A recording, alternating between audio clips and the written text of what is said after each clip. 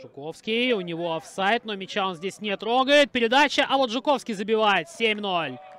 Здорово здесь все было разыграно.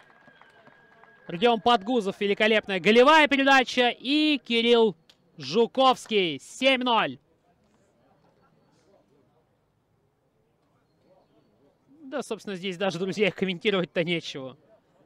Опять все здорово сделано. И первый гол в этом сезоне для 21-летнего форварда бело-голубых. Ну, конечно, великолепно головой сыграл в этом моменте Иван Лепский. Передача головой метров на 10-15 вперед. И 7-0.